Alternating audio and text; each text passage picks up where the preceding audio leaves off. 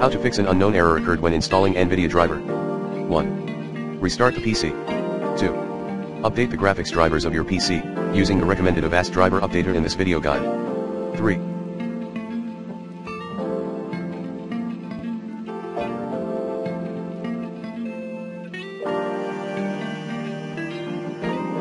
Uninstall reboot your system then reinstall the drivers. 4.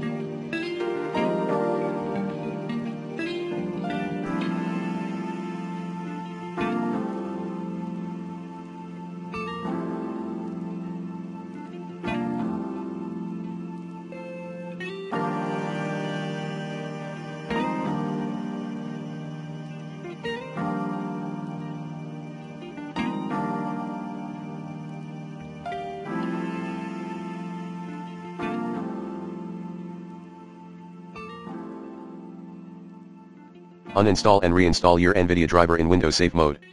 5.